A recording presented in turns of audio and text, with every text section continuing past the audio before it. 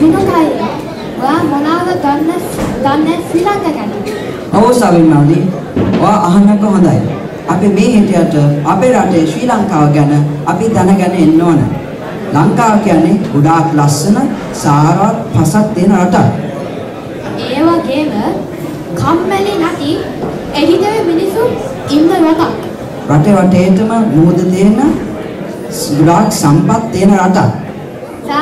දැන් අපේ තුති නංගිලා මල්ලිලා අපිට ශ්‍රී ලංකාව ගැන කියලා දෙන්නයි යන්නේ. ආ අපි එනම් අහලා බලමුකෝ